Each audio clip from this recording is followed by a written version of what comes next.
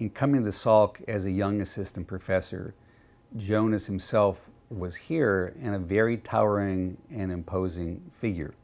He wasn't tall, but he was imposing because of his reputation. He not only uh, developed the first vaccine for poliovirus, but he built the Salk Institute and he did it out of his own imagination and he built this beautiful place because he believed in it and he had the reputation and power to actually put something special together.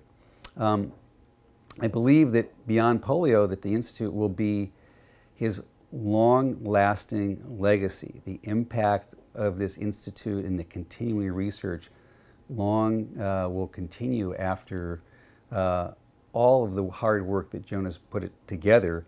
It's been a true success. So he is the ultimate scientist in running an experiment, not just his own, but letting building a place where others can actually run their own experiments. He believed in the institute. He believed it was alive that it had its own properties, it was dynamic, it was a living kind of organism, uh, and that it was a very dynamic environment.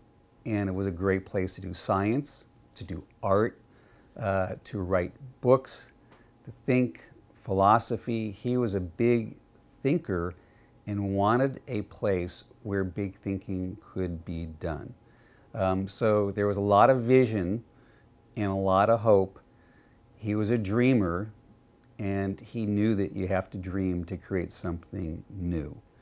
I enjoyed uh, many walks with Jonas. He loved the idea that Darwin took walks and he used to have a walk through the corridors that he would take, often on his own, to think. But he loved company and he was delighted to have someone walk with him and I took many walks uh, along the corridors with Jonas just to talk and he loved to talk about the Institute life. He had these big ideas about the universe uh, and the nature of the human spirit um, and how people can make a difference. And he believed in people a lot. Um, and so I think Jonas felt that um, in some areas, like voting, one vote doesn't seem to make a big difference. But for ideas, one individual can have a very big impact. And Jonas was an idea person. And being here actually elevated my own personal view of how individuals and ideas and knowledge uh, can have a very big and important impact on science and humanity.